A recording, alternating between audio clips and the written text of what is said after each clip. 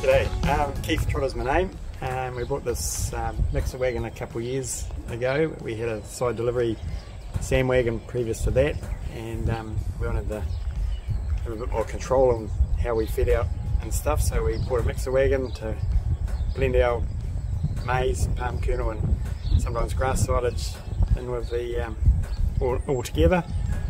Um, it's been worked really well. Does a mixes it up well. It's quick and easy to use, easy to feed out, and we chuck our minerals in as well, so we don't have to use our dosatron anymore. Um, yeah, no, it's good. wouldn't go back to the old way.